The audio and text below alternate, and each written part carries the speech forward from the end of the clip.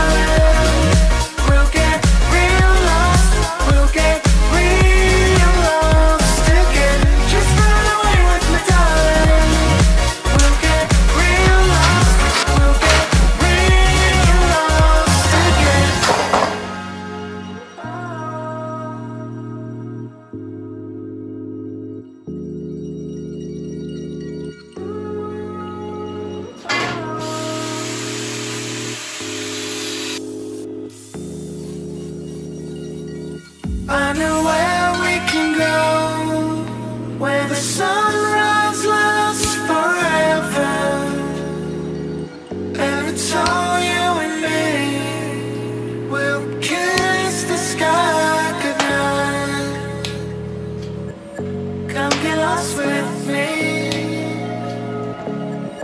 Come get lost with me. Come get lost with me. Come get lost with me.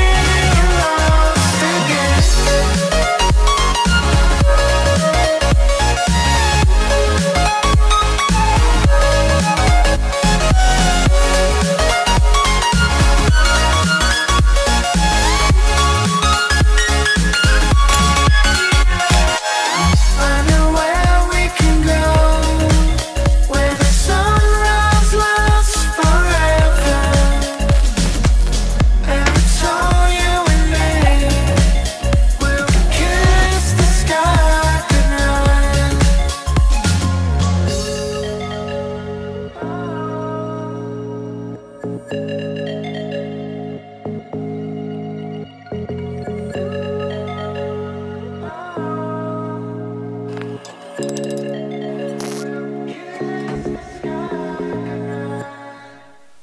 I wasn't actually going to talk in this video, however after testing the engine off camera I found that there were a few problems. So basically the homemade universal joint I made up did work on the engine, however once I put the prop underwater the load became too much on the joint and it basically bent out of shape and broke. I also found with that system that there were a lot of vibrations so as you can see here I decided to rebuild it with a straight shaft that is in line with the engine so I don't need a uni joint.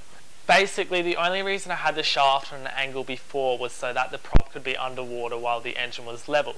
However, this time I decided to make the shaft much longer so the engine only needs to be on a slight angle for the prop to be underwater, allowing the engine to still pick up oil and to be lubricated. Now, I did only make this all temporary by tack welding pipe on here instead of proper bushings to hold the shaft on. However, I now know that this system works as I tested it all, so I shall now cut the pipe off and make some proper bushings. So, to the lathe.